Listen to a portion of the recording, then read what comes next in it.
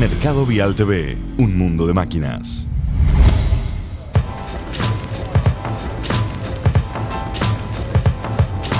Here we are in the Volvo CE stand and with a new prototype and a new idea of the future for, for Volvo. Yes, we are uh, currently running an electrification project together with uh, a customer, uh, Skanska, back home in Sweden, uh, sponsored also by the Swedish Energy Agency, where we are looking into um, energy, making uh, quarry transport more energy efficient.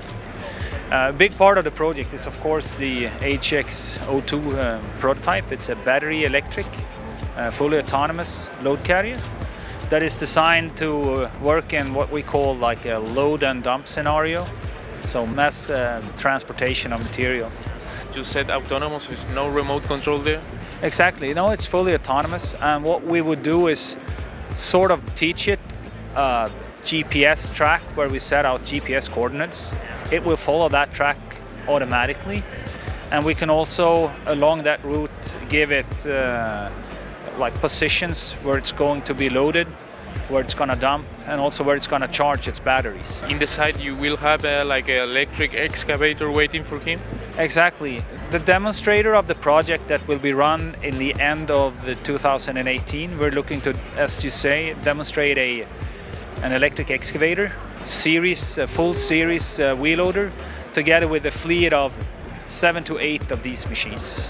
Apart from the from the physical machine, if you will, we're also going to have to build a, a, site management system and a fleet control system to, to manage the, the fleet of these autonomous vehicles.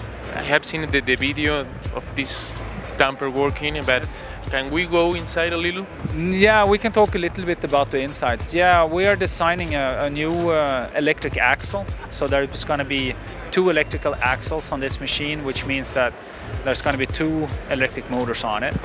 That kind of gives us the possibility uh, to build like a 2x4 or a 4x4 if we want to.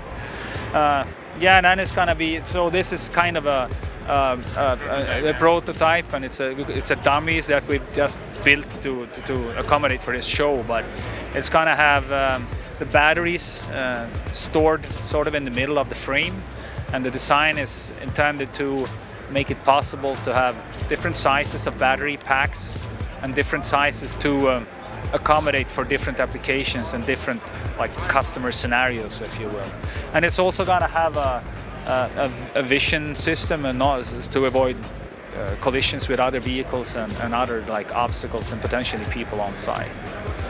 Just to finish, uh, what's the final message of Volvo? Yeah, I mean, this is just a way for us to showcase what we think is the future of the construction industry.